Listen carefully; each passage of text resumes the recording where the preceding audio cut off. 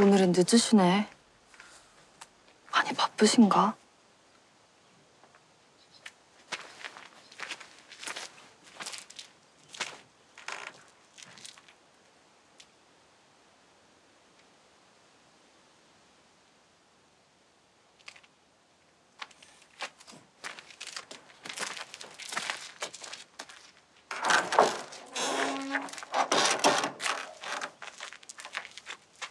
싫어.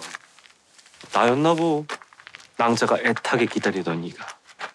늘 오던 시각에 안 오시니 무슨 일 있나 하여 나와봤을 뿐입니다. 별채만 박혀 있던 낭자를 문 앞까지 이끈 것이요. 바로 내가. 예, 아주 장한 일을 하셨네요. 정말 날 기다렸어.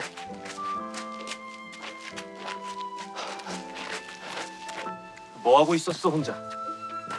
그냥 놀이개도 만들고 청소도 하고 연지도 바르고. 휘리도 어여쁘면 좀 곤란한데.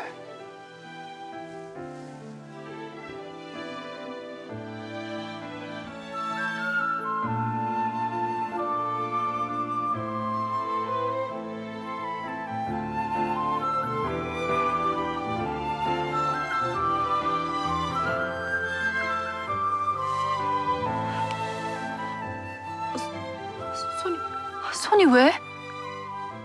무슨 험한 일이라도 하신 겁니까? 어. 그요 앞에 고양이 한 마리가 지나길래 만져보려다가.